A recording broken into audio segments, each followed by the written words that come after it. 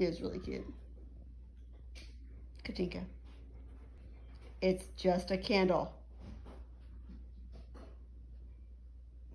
Dumb are you?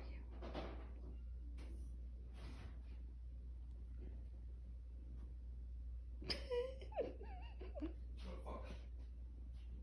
You want sour cream? We get queso. Ooh, yeah. That works. Katinka. Oh no. It's it's fire, you dumb bitch. Yeah, and it smells the candle.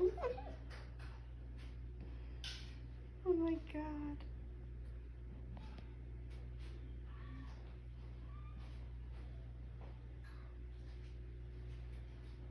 There you go. Yeah, no, that's okay. Just leave it alone.